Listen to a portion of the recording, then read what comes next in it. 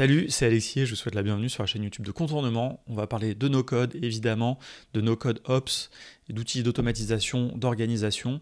Et comme c'est la rentrée, et eh bah voilà, moi j'ai fait un petit peu mes devoirs euh, cet été, j'ai fait mon petit cahier de vacances, et donc j'ai suivi toutes les nouveautés qui étaient sorties dans Make, Zapier, Airtable et Notion. Et je vous ai fait une petite vidéo pour vous présenter ça rapidement. Comme ça, bah, vous, j'espère que vous êtes bien reposé et que là, vous êtes en train de préparer votre petit cartable et votre trousse. Et donc, vous allez faire un petit peu votre veille en accéléré grâce à cette vidéo. Allez, c'est parti tout de suite. On commence avec Airtable. Depuis quelques mois chez Airtable, vraiment, il nous régale avec plein de petites améliorations du X que personnellement j'aime beaucoup et je pense aussi euh, que vous devriez parce que voilà, ça nous simplifie la vie au quotidien. Allez, je vous passe en revue un petit peu tout ce que j'ai découvert un petit peu euh, cet été qui est sorti. Premier truc, en bas, ici, ce bouton Add. Alors, bon, on regrettera quand même que l'interface de Airtable n'est toujours pas disponible en français, mais ça, c'est une remarque au passage. Mais ici, ce bouton Add, donc ajout, voilà, avec un petit plus ici pour ajouter un enregistrement. Vous avez le plus ici aussi pour le faire, mais ici, voilà, une nouvelle manière. Et surtout ici, ajouter Add More, donc ajouter plus. Qu'est-ce que c'est? Eh bien là, un nouveau panneau qui apparaît qu'on ne connaissait pas, un panneau magnifique qui nous montre plein de choses. On peut ajouter ici des vues, vous reconnaissez toutes vos vues, ici des automatisations et ici des données, et enfin des interfaces et même des synchronisations. Vous voyez, la liste d'ailleurs ne s'arrête plus. Je croyais que j'allais vous montrer un petit peu cette trinité ici entre les automatisations, les données et les interfaces, mais évidemment, les vues, c'est au quotidien ce que vous allez le plus ajouter. Et puis après, les interfaces, il y a une petite nouveauté d'ailleurs que je vous montrerai tout à l'heure. Et ici, la synchronisation. Voilà, fonctionnalité très pratique dans un usage peut-être un petit peu plus professionnel, mais qui peut être très intéressant. Et les extensions, les anciennes apps, les anciens blocs, renommés déjà trois fois, qui vont vous permettre d'ajouter des extensions pour enrichir tout ça. Voilà, donc ça, c'est hyper intéressant. On continue. Donc ça, c'était le petit bouton Add en bas. Deuxième petite chose très intéressante qui est sortie pendant l'été, deux choses en fait au niveau du filtrage et des groupements. Donc le travail sur ces données hein, pour pouvoir manipuler ces données et pouvoir en extraire des informations intéressantes. Première chose ici au niveau des groupes, quand vous cliquez, il va vous proposer tout de suite quelques champs qui lui paraissent intéressants sur lesquels grouper. Voilà, donc ça c'est une chose euh, voilà, qui peut être assez intéressante. Deuxième chose, et puis sinon vous pouvez tous les voir, hein, évidemment. Donc vous voyez, mais il y a toujours cette volonté de simplification, de vous faciliter la vie. Donc on essaie de vous proposer des choses qu'on pense intéressantes, mais évidemment vous avez toujours la puissance à portée de main. Je pense que c'est un des enjeux dans lesquels Airtable entre actuellement, c'est de pouvoir simplifier l'utilisation d'Airtable. Il commence à avoir énormément de fonctionnalités, donc ils doivent accompagner ça d'un travail du X, donc d'ergonomie, très important pour ne pas perdre les utilisateurs débutants, puisqu'il y a encore énormément de gens évidemment qui découvrent Airtable, qui ne sont pas des utilisateurs avancés, comme nous et vous peut-être. Deuxième chose, ici, dans le filtrage, quelque chose que j'aime beaucoup, vous allez pouvoir, dans si vous voulez filtrer sur un enregistrement euh, lié, sur, eh bien ici vous allez voir que vous allez avoir des nouvelles opérateurs qui vont apparaître, qui vont être assez intéressants. Et notamment ici, vous allez pouvoir ensuite sélectionner des champs existants et dire voilà, je voudrais que ça filtre uniquement ce qui est lié à ce champ ou à ce champ, ou qui contient ce champ dans une liste, etc. Donc ça, c'est vraiment extrêmement intéressant, beaucoup plus puissant qu'avant. Autre petite nouveauté, il continue à améliorer la partie interface, donc la partie visuelle que sur laquelle vous allez pouvoir créer des tableaux de bord et différentes choses pour traiter vos données et avoir des visualisations de vos données, eh bien, y a, ils ont ajouté une partie formulaire qui est très flexible, qui est très intéressante, qui est bien plus flexible que les formulaires évidemment que, vous connaissiez jusqu'ici dans, dans Airtable, alors, qui vont vous permettre d'agrémenter vos interfaces de formulaires, alors d'ajout uniquement pour l'instant. On attend évidemment avec impatience les formulaires d'édition et des moyens un peu dynamiques d'éditer des données. Ça, ça va arriver, hein, forcément. On le voit, hein, euh, c'est pour ça qu'on fait ces vidéos un petit peu pour vous tenir à jour. C'est parce que tout ça évolue très très vite. Et donc, voilà, pour l'instant, côté Airtable, on ne sait pas quand ça va arriver, mais ça va arriver. En tout cas, déjà là, vous avez un premier pas vers ça, qui sont les formulaires d'ajout, évidemment. Et enfin, dernière petite chose, ils ont fait une amélioration, alors là qui est un petit peu technique, mais qui est quand même assez intéressante, je la mentionne. Vous savez qu'il y a une fonctionnalité extrêmement intéressante qui s'appelle le préfil. Donc par exemple, quand vous construisez des URL pour vos boutons, par exemple comme ici euh, dans cet exemple, et que je clique ici, eh bien, vous voyez que ici est pré-rempli le champ euh, du nom du projet. Il se trouve que pour faire ça, il faut faire une formule et il faut indiquer le nom du champ. Ici, vous voyez, je vais ouvrir la formule, comme ça vous verrez bien. Et ici, on voit très bien que ici, j'ai préfil underscore projet. Ça, c'est la manière qui permet de pré-remplir. Et bien maintenant, à la place de projet, je peux mettre l'identifiant du champ projet. Alors ça, c'est un petit peu technique, il faut bien saisir, mais imaginez, alors là j'ai mis un nom simple, projet, mais imaginez que j'ai un nom très long de champ, et ça, ça peut très bien arriver dans, dans Airtable, puisqu'on peut utiliser les noms de champs qu'on veut. Eh bien, je vais pouvoir utiliser maintenant plutôt son identifiant pour que ce soit plus robuste. Et son identifiant, je le trouve où? Je le trouve dans un nouveau panneau qu'ils ont ajouté, que j'ai déjà montré dans une vidéo précédente, ici dans les Manage Fields. Manage Fields, ici, vous voyez que j'ai les différents champs, et par exemple ici le champ projet quelque part, et là la colonne Field ID. Et donc maintenant, je peux tout simplement ajouter, utiliser ici ce champ et le mettre dans mon préfil à la place du nom du champ. Voilà, c'est tout pour Airtable. Au niveau de Zapier, pas de nouveautés particulières. Vous savez, vous vous souvenez qu'avant l'été, il y a eu le rebranding.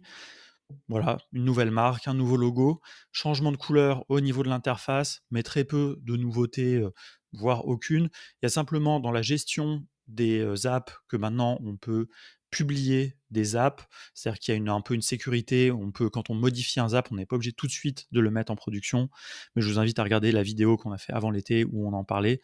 Voilà, rien de, particulier par rapport à ça, c'est quelque chose qui est vraiment très intéressant d'avoir fait, mais voilà, au niveau de Zapier, c'est un outil qui est très stable, bon, à part quand il s'amuse à changer un petit peu les couleurs et tout. Mais voilà, sinon, par contre, il y a de nouvelles intégrations en permanence, tout le temps des nouveaux outils qui sont connectés à Zapier. C'est de loin l'outil d'automatisation qui a le plus d'interconnexions. Donc vraiment, je vous l'invite à le regarder. Et sur le sujet des outils d'automatisation, eh bien, il y a eu aussi quelques nouveautés dans Make. Je vous montre ça tout de suite. Alors, au niveau de Make, une nouveauté surtout euh, principale que je vous montre et qui, euh, je la montre aussi parce qu'elle sera abordée dans le troisième niveau de formation à Make qui va sortir euh, donc chez Contournement d'ici à la fin de l'année 2022. Alors ici, quand vous êtes dans un n'importe où, hein, dans n'importe quel module et que vous voulez modifier des données, ici par exemple, si vous passez en map, et eh bien ici vous avez accès à plein d'informations qui viennent des étapes précédentes. Ça c'est le fonctionnement classique de Make. Et eh bien il y a ici un nouvel, nouvelle, un nouvel onglet qui est apparu ici dans tout ce que vous pouvez utiliser, sachant que ici il y a des formules, il y a des fonctions, etc. Et ici, eh bien, vous avez maintenant des variables personnalisées. Vous avez des variables liées au scénario, qui sont toujours les mêmes, ce sont des variables système. Par exemple, le temps d'exécution, les données qui ont été consommées, ça peut être très intéressant pour faire du monitoring, pour contrôler les exécutions dans d'autres scénarios, donc vraiment automatiser sa surveillance quelque part de ces scénarios make, mais aussi des variables d'équipe que vous allez pouvoir définir vous-même dans une interface. Donc là, très simplement, avoir des choses que vous voulez répéter dans le scénario, un usage très simple, par exemple une clé d'API ou ce genre de choses, des secrets par exemple, ou alors des, des mots qui reviennent tout le temps que vous voulez utiliser plein de manières de faire. Et puis des, euh, des variables aussi qui sont liées à l'organisation. C'est un petit peu la même chose. C'est des niveaux en fait de granularité différents puisque vous savez que dans Make, il y a une organisation générale et cette organisation est divisée en équipes. Et donc vous pouvez, suivant la granularité, avoir des variables qui sont euh, visibles à différents niveaux. Pour avoir des variables restreintes à votre équipe ou alors des variables qui sont pour toutes les équipes, par exemple via les organisations. Voilà, ça c'est les nouveautés de Make, rien de plus. Et enfin, on termine avec Notion, qui a sorti pas mal de choses dans l'année passée. Voilà, donc au cours de l'été, il y a eu quelques nouveautés. Alors, il y a des petites nouveautés vraiment euh, très subtiles au niveau des bases de données que je ne vais pas vous montrer parce que ne peut pas les montrer non plus euh, chaque chose. Mais dans les choses un petit peu que j'ai notées qui étaient intéressantes, si vous utilisez Notion, vous le savez déjà parce qu'ils nous ont envoyé plein de mails pour nous prévenir, il y a eu des changements dans la barre ici à droite, euh, à gauche, pardon. Une notion d'espace d'équipe voilà, qui est un petit peu plus flexible, qui permet principalement finalement de gérer plus de permissions et de sécurité. Donc toujours voilà des avancées au niveau des permissions, de la gestion, de la granularité de ce qu'on va pouvoir permettre de faire ou non aux membres de ces espaces de travail. Donc il y avait l'espace de travail global, le workspace, ça c'est par exemple le workspace contournement. Et ensuite vous avez les espaces d'équipe, donc pour pouvoir subdiviser en équipes les, euh, voilà, vos différentes choses. Donc, nous, par exemple, chez Contournement, on l'utilise pas vraiment, mais ça nous permettrait d'avoir, éviter d'avoir cette page, cette page contournement qu'on avait créée avant cette notion d'espace d'équipe, que l'on pourrait remonter d'un niveau ou alors sinon en fait carrément faire plusieurs espaces d'équipe, l'espace formation, l'espace RH, etc. Bon, nous on est une équipe tellement petite que ça n'aurait pas vraiment de sens, mais mmh. par contre dans des contextes même juste de PME d'une vingtaine de personnes, on peut voir tout de suite tout l'intérêt que ça peut avoir et notamment encore une fois vraiment pour gérer la granularité de ce que les gens peuvent voir ou pas. Avant il fallait gérer par page, c'était pas forcément très facile, des choses qui n'étaient pas, pas possibles. Donc là vraiment ça améliore énormément ça. Et enfin, dernière chose, et je terminerai cette vidéo avec ça, quelque chose que j'aime beaucoup, le contrôle K, ici évidemment, que l'on utilise énormément, que l'on vous encourage à utiliser énormément pour faire des recherches. Et eh bien ici, ils ont rajouté plein de filtres, en fait, pour améliorer les recherches. Avant, il y avait juste un grand champ où on tapait ce qu'on voulait chercher, et maintenant, en fait, on peut aussi filtrer sa recherche, chercher par date, etc extrêmement intéressant si vous commencez comme nous à avoir énormément de pages, puisque vous le savez, dans Notion, tout est une page. Donc forcément, la moindre tâche que vous voulez créer, etc., génère une page, puisque nous, voilà, on fait toute notre gestion de projet, toute notre organisation dans Notion. Donc voilà, ça, ça va nous aider grandement. Vraiment, n'oubliez jamais le contrôle K, extrêmement intéressant. Voilà, CTRL-K ou CTRL-P, hein, d'ailleurs, si je dis pas de bêtises, c'est le même raccourci. Ce qui est un peu étrange parce que CTRL-P, par ailleurs, ça sert souvent à euh, faire, euh, à imprimer. Mais bon, voilà, on imagine dans Notion, on n'imprime pas si souvent que ça. Et là, vous savez que je n'ai pas un Mac puisque je n'ai pas dit commande K ou commande ou pomme K ou je ne sais même pas comment on dit vraiment d'ailleurs sur Mac. Vous le savez, moi je suis sur Linux. Et enfin, dernière chose que je veux vous montrer dans Notion, ça, c'est assez chouette aussi. C'est une petite euh, nouveauté, alors qui est assez euh, bien cachée. Mais alors, si vous avez suivi notre formation Notion, d'ailleurs, vous allez voir qu'il faudra que je la mette à jour, puisque ça, ça pourra remplacer une manière assez artisanale qu'on avait de faire. Il s'agit des barres de progression.